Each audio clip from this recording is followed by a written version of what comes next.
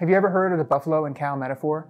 Here's how it relates to trauma. So, cows, when a storm is coming, will start to run away from the storm.